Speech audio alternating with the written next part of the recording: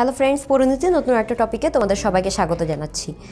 আমরা গত ক্লাসগুলোতে সন্ত্রাস কি, এটি কী কী ধরনে আমাদের সমাজে প্রকাশ পায়, বা এর উৎস কী, এগুলো সম্পর্কে আলোচনা করেছি, তাই না? আজকে আমরা এই যে আমরা এই যে সন্ত্রাস নামক সমস্যাটা দেখছি আমাদের সমাজে, এটির প্রতিরোধে বা প্রতিকারে কি কি করতে পারি বা সরকার কি কি করতে পারে সেটা নিয়ে আলোচনা শুরু করব। এবং ক্লাসের শেষে তোমাদের জন্য একটা প্রশ্ন থাকবে, তোমরা যারা মনোযোগ দিয়ে ক্লাসটা করবে, আমি আশা করি তারা প্রশ্নটার উত্তর দিতে পারবে। চলো তাহলে শুরু করি।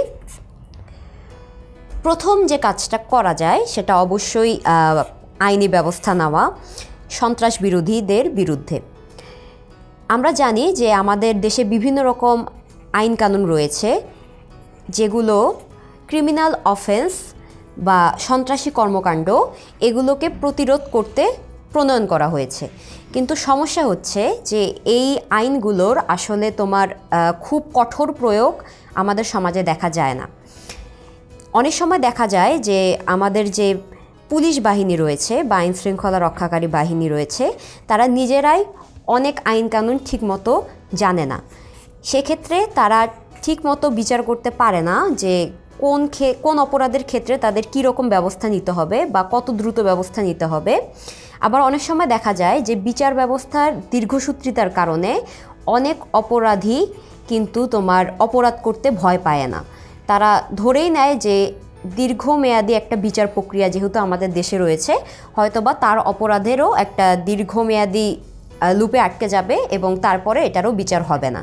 তো এক্ষেত্রে যেটা করতে হবে, সেটা হচ্ছে আমাদের যে সন্ত্রাস বিরোধী আইনগুলো রয়েছে, সেটা যে ধরনের সন্ত্রাস হোক, সেগুলো, আইন কানুনগুলো আমাদের যথেষ্ট শক্ত করতে হবে। এত স্ট্রিক্ট করতে হবে যাতে মানুষ অপরাধ করতে অন্তত যাতে ভয় পায়। যাদের মধ্যে এরকম টেন্ডেন্সি রয়েছে অপরাধ করার, তারা যাতে আইন কানুনগুলো সম্পর্কে জানে এবং এটি নিয়ে ভয় পায়।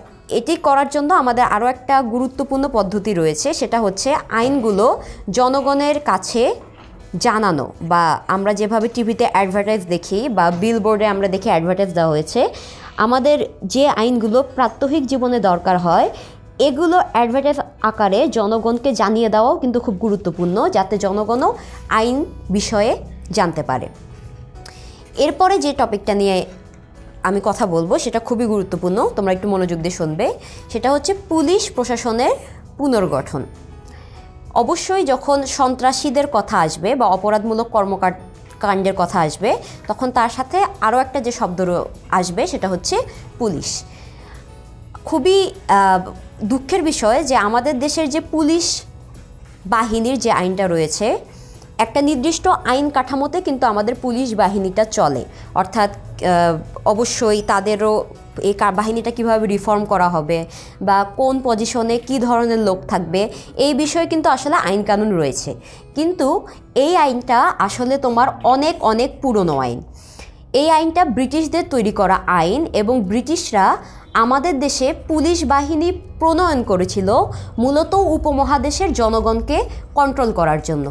অর্থাৎ তারা নাগরিকদের অধিকার রক্ষার স্বার্থে পুলিশ বাহিনী প্রণয়ন করেনি, তারা শাসক হিসাবে নিজেদের অধিকার আদায়ের নিজেদের স্বার্থ রক্ষার জন্য পুলিশ বাহিনী প্রণয়ন করেছিল এবং খুবই দুঃখের বিষয়, সেই একই কাঠামোতে কিন্তু আমাদের পুলিশ প্রশাসনটা চলছে। এটাকে আসলে রিফর্ম করতে হবে। আমাদের যে পুলিশ কাঠামোটা রয়েছে, এটাকে জনগণের জন্য বন্ধুসুলভ করে ফেলতে হবে, যাতে পুলিশের কাছে যেতে জনগণ ভয় না পায়। এবং আমাদের পুলিশের দক্ষতা বা তাদের অস্ত্রশস্ত্রের দক্ষতা বলো, এগুলো কিন্তু বাড়াতে হবে। কারণ দেখা গিয়েছে যে আমাদের দেশে চোদ্দোশো মানুষের জন্য, যেহেতু এটা একটা খুব ওভার পপুলেটেড কান্ট্রি চোদ্দোশো মানুষের জন্য মাত্র একজন পুলিশ কর্মকর্তা রয়েছে গড়ে। তো দেখা যাচ্ছে যে এই পুলিশ কর্মকর্তারা যদি ঠিকমতো কাজ করতেও যায়, তবুও এত বিপুল মানুষকে সেবা দেওয়াটা তাদের পক্ষে সম্ভব হচ্ছে না।